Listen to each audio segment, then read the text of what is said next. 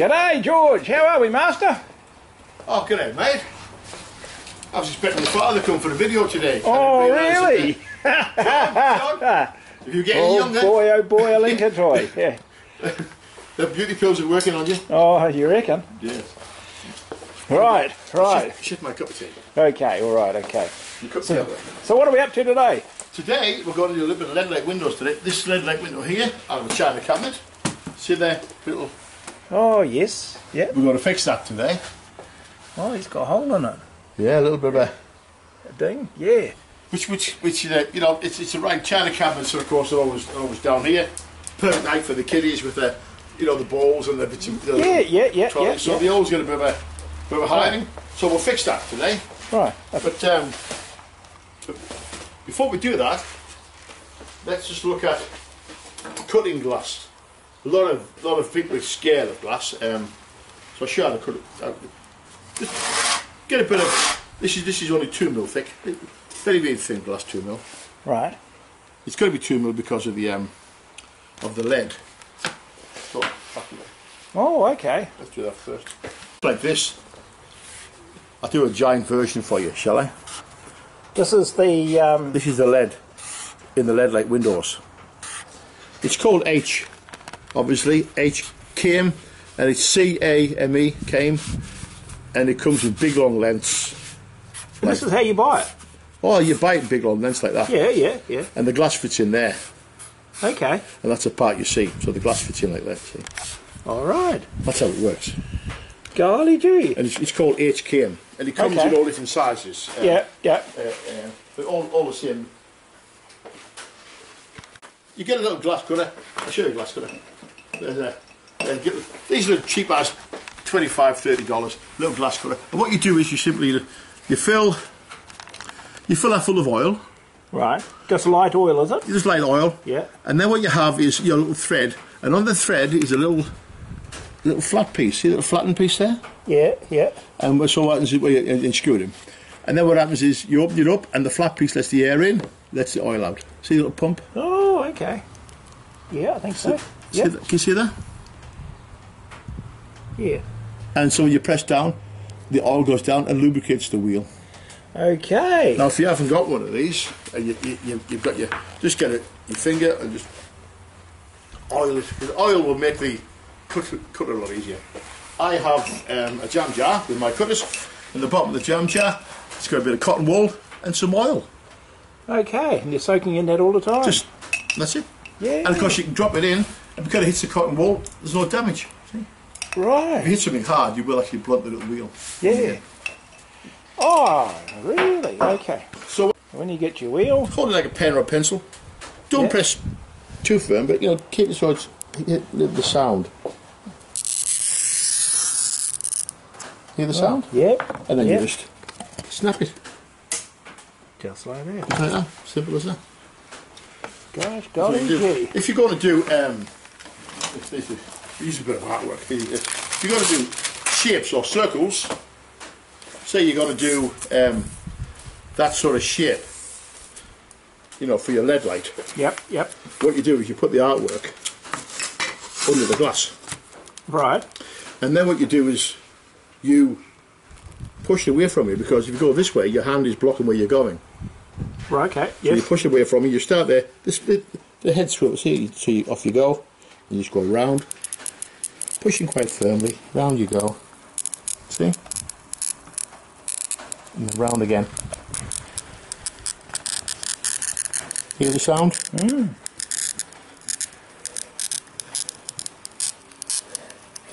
So then what you want to do is, you get a little metal end, you can tap it, see? So.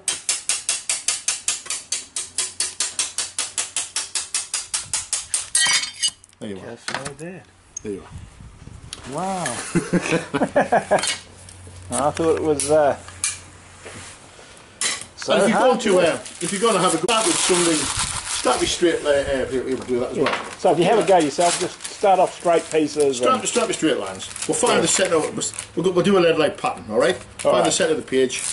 You can you can measure it out if you like or whatever. This is just as quick and it's just easy. So you This is centre of a page.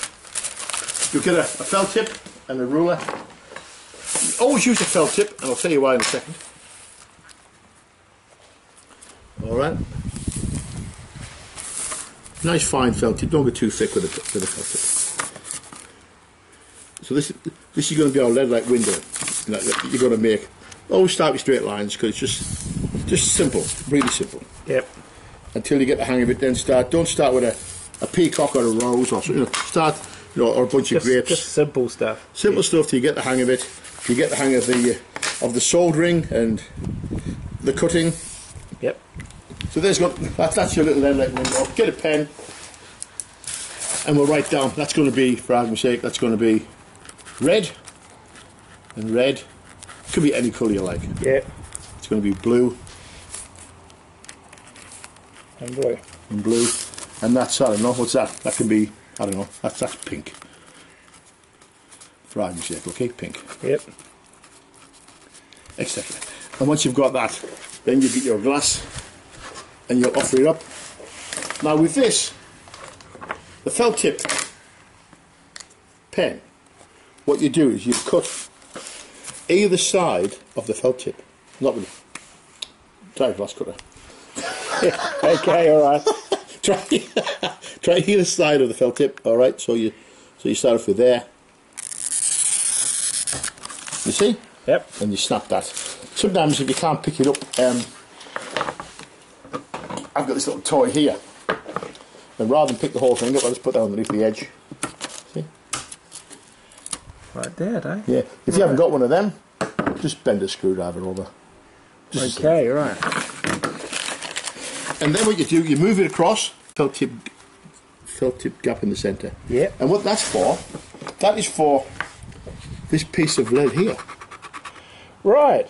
You have to allow for that piece of lead. Yeah, and it's about that thick, is it? About that thick, yeah. Okay. You have to allow for that. I'll get a piece of lead. This, this is the now. This is your actual lead, so that's that is that as you can see Yep. with this with a sketch, and, and that felt tip allows for that. The glass goes that way. Allows for that little tiny piece in the centre. Right. Yep. Yep. Because if you're doing a window and you measure the size of the frame, Yep. if you don't allow for that little bit of gap in between, it will creep and creep and creep, and it won't fit the, the frame it's made yeah, for, and they're hard to cut down.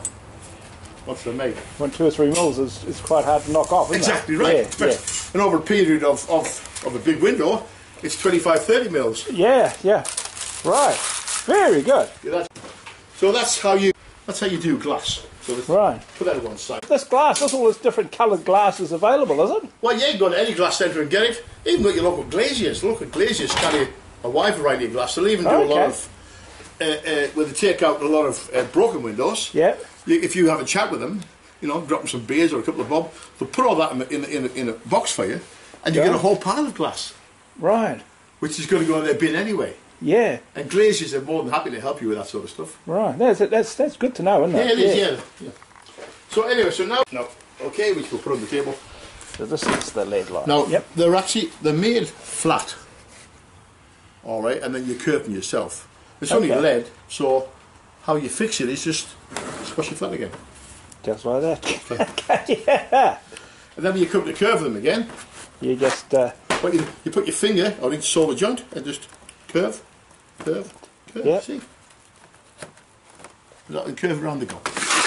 gosh. Okay. So we're going to have a go at this one here.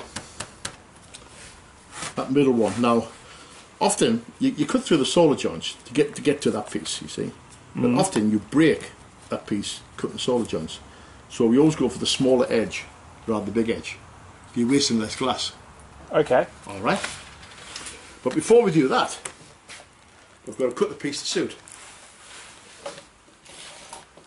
So I've got a, but that's all right. Actually, that's it's, it's perfect height. Actually, Just amazing, isn't it? Yeah. look at that. So what we do is, if you we put it slightly over the lead, so it slides Yeah, in. All yeah. right, and we have to cut in the middle of this lead here. Yep. So we get a little straight edge, and I'll cut it.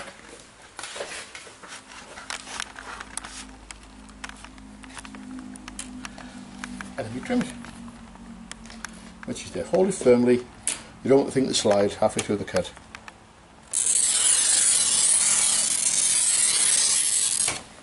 Done. Able to snap that off. If you fancy it to be too small, this, this is this isn't too small. If you fancy it to be too small, just get a pair of pliers and just there we are, Just like that. just like that. What I tend to do, I tend to sort of cut it in small bits so you don't have big jags of glass everywhere. Little tiny cuts along the whole thing. Just drop it. See? There you are. Put it on. It all goes away. Put it in the box out the way if you want to. Now we have our little lead knife. These little things here, it's called a lead knife, you know. And they come different sizes, different shapes and things. Uh, and the, you know, like one guy said to me once before, ah, you've got all the gear. You, yeah, well, once you've got it, you've got it. You know, if, if you've got to get involved in these things, you have to have the gear. Yeah. They're only 30 bucks or something. Yeah. But you can, you could have an old putty knife or Oh, something. of course you have anything at all, yeah. What, what I use is this one which is here, which is for cutting pizzas. Okay. that I use. Right. if you're going to spend thirty dollars, you know. So we get our. Now the first thing you do is you get a felt tip, all right, and you mark the glass. Because often you off you go and you start and you, you find you cut the wrong one. Right. All right, so human error. It's time is money and all this sort of stuff. It's a bastard being human, John. Bastard. Yeah. yeah. So we cut through this down to the glass. All right, it has to be sharp, of course. Now these ones you tend to cut at an angle. All right. This piece or this piece? A perfect example. A perfect example. There you are. There we go. Oh, there, we've broke the glass already. That's where we go for the smallest piece. Yeah. Plus I'm rushing for the camera. There.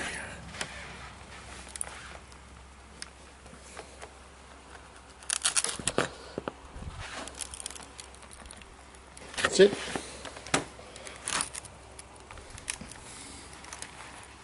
I'll make a little note to Oh. it. You spin the whole panel over and we cut this side. There we are. And there's our leather way. Right. This side too. That's it.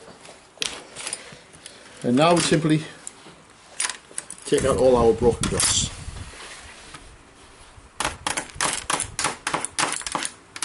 There we go.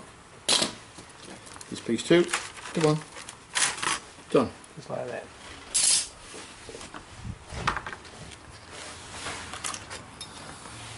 Wear gloves if you're not at all happy about, about handling glass. By all means, wear gloves. Now, with our little hooky thing, we then have to go inside here and take out all the little bits of cement. The whole thing's cemented together, using like a like a putty or you can't actually make your own cement with this stuff. And this stops the glass from rattling. It also makes it watertight for, for windows, Oh, for right, exterior windows. So it's not just the, the the friction of the lead that's sealing everything up. No, not at all. Ah. Right. Give it a brush down. Now then. Little horseshoe nails. Little flat horseshoe nails. Gosh. And what these are for, these are ideal. So these are, you know, a little lead hammer. Okay. It's a pretty sexy looking lead hammer, isn't it? it is, isn't it? And we put that in the ball of your hand. yep. um, just tap it in so you keep the whole thing nice and tight together. Now we get our bit of glass that we've already cut, like so, and we slide it in. I always take the little nibble off the end because you can never guarantee that corner isn't blocked by a little bit of solder. Right. And we slide it in.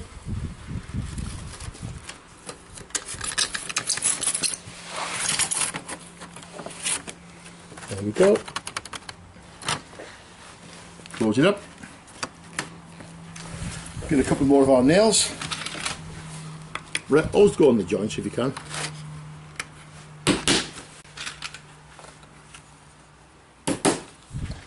Done. Simple, isn't it? Yes.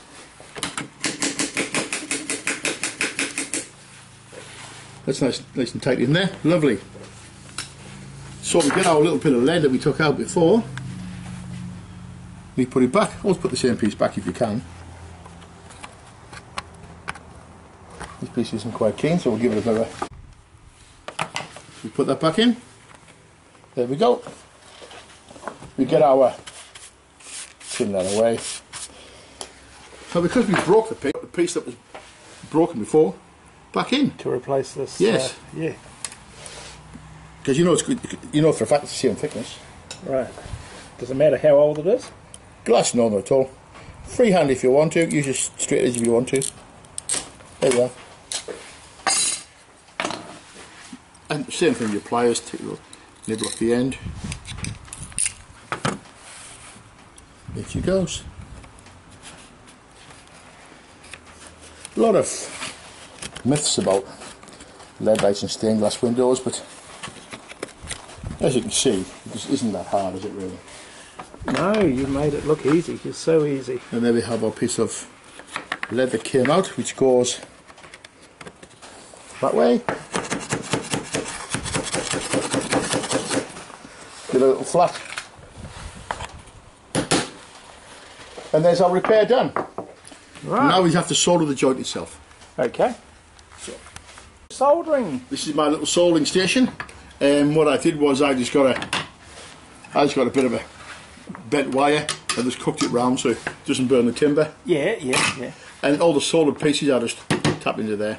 Right. And it needs that nice big head on it, does it? And not necessarily, no, but um, I've, I've got some smaller ones, but Right. this will do. It, it, it puts a lot of heat into it, you know, Yeah. uh, in, a, in a hurry, and I like that, you know. Okay. But you got to be careful if it's too hot because leave it too long, it will actually melt a big lump, and the lead's gone as well. Right. So you can't afford it. No. They've got to be nice and shiny to clean out So joints. this is cleaning the joints. So you get our little knife again, and you just simply scratch right down to get some nice clean lead, which is happening there. See the lead there? Right. Nice clean. There we go.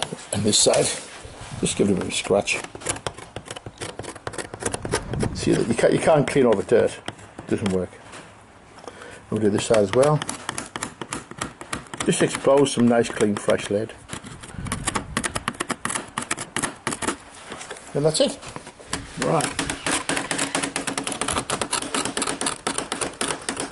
What happens is over a period of time the lead oxidizes and you get this horrible, not that horrible, um, probably the wrong word. You, you get this, you get the blackness. Like of- a discoloration or Yeah, discoloration, which is, which is nice, but you can't actually solder over it. There we are. Cool. Just give it a bit of a test. Oh, you ever getting there? Didn't take long, is it? Is that soap, is it? Uh, no, this is a flux candle. It's an animal wax, animal fat, sorry, flux candle. Flux? That we're going to use to um, help the solder flow. In fact, I'll show over here, uh, John. What you do is you, you get your little candle. It comes in quite a decent sized piece, Okay. and you rub it over the joint. Just rub it over the joint. Right. Okay. and that's all you do. But I was just testing how hot the, uh, the iron was there. Right. A little bit more, nearly there though. Getting close. Give it another couple of minutes and we're done. There we go. Oh, look at that. Perfect. And you've got your little handy piece there, the pair of pliers to hold it. Oh yes. It must get a bit warm, does it? Well, the, the heat transfers across down, down the... Right, so now we offer it up. Get a little bit of solder in there. There she is. And just heat it up. Right. A bit more. There you go. Just like that.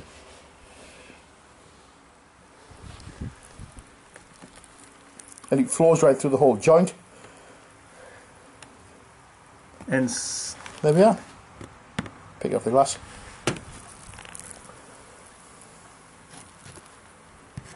And that's it done.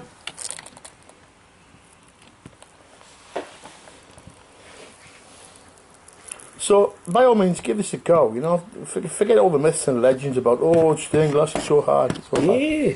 You know, forget all that sort of stuff. It just isn't that hard. Right. Give it a go. You, you do both sides, but for the sake of the camera, I won't bother. You take, All right. You take your pins out, Yep, yep. and then what you have to do is see all these little tiny pieces here. This is the old cement that we took out.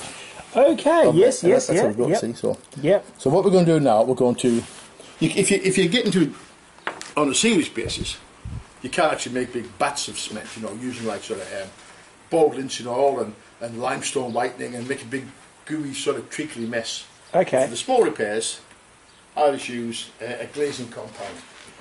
okay. Now there's two different types here. You've got a a steel sash compound, Right. that you get from good old Glasscorp. Any glazing gear at all that you want, anything at all, look up Google Glasscorp because they've got everything. Right.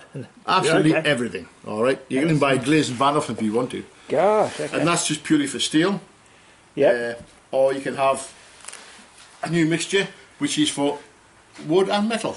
right. This is and yet the wooden one would must have linseed oil in it, doesn't it? Or, It used to have that. This is this is more of a mastic now, I think. Um, You can still get linseed oil putty, Right. but uh, Right. but this is a more. But uh, but we'll use this because it's I've already opened this one, so okay. there we Okay. go. Big good. Now what I've done, I've added some. I've added some turpentine to this um, this steel sash to get a nice gooey, horrible gooey sort of Well, it's pretty good, isn't it? yeah, because what you want to do, you want to get it right into the into the, the lead, and with the steel uh, putty, it's quite firm, and as, as you push it, you can often break the glass. Right. Okay. So So, this- the easier the easier it goes in. Yeah. Yeah, so so we'll get ourselves a little bit of. And we just force it in, but I'll, go, look. push it in, make it makes a lovely mess, doesn't it? It's pretty good stuff. and it goes right there. And if you got if you got a felt tip uh, pen uh, on this, the tips will take. We'll do that at same time. Take off all the felt tip for you. It's one job less, isn't it? yeah. Yeah. Bit more of the gooiness, and just push it right under the in between the lead and the glass the whole way. Just push it under. You can see it moving. Oh yeah, it's going. Drag it all up. And that's it all done. So now we, now you get the gooey part, you get your finger and you push it in with your finger and then wipe it off. You can see it's going right underneath the glass the other side. Yeah. So it's going right through the entire glass. That's what you, you want it to wrap around the whole glass. That's what you're trying to achieve. And it's sealed up then, isn't it? Yeah, because then you know you've got it right around the whole the whole Yeah. piece.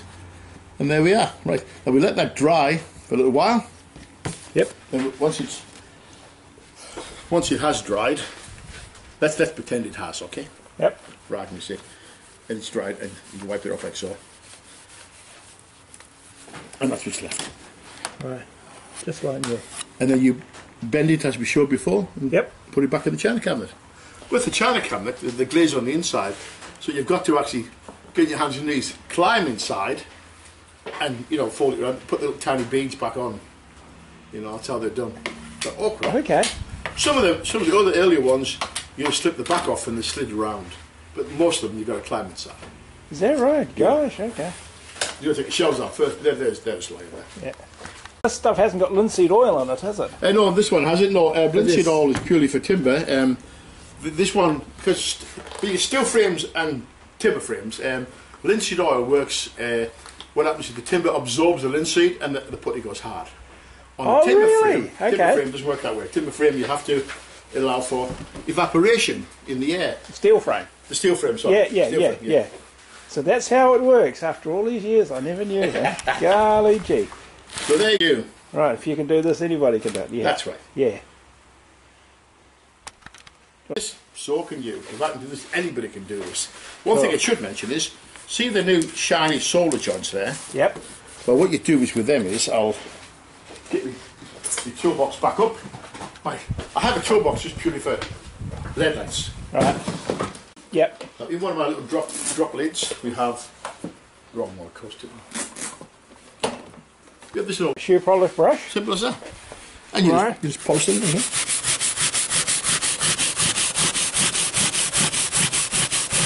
There she disappeared. Slowly, slowly. Same thing again. A massive big jar of elbow grease. and on she goes. Yeah. Right. And that's your solder joint. Of course, that's hidden by, by the bead anyway. But just Yeah. if the middle ones, you'll do the same in the middle ones. Yeah. Well, I hope people, I hope people try these things because they, the old lead light was quite popular, wasn't it? It still is. It still is. Oh yeah. yes, still is. It's very popular. Yeah, um, especially not so much in the cities, certainly, but certainly around some of your rural areas, some of your villas, and it is making. A, it, it never go away, No.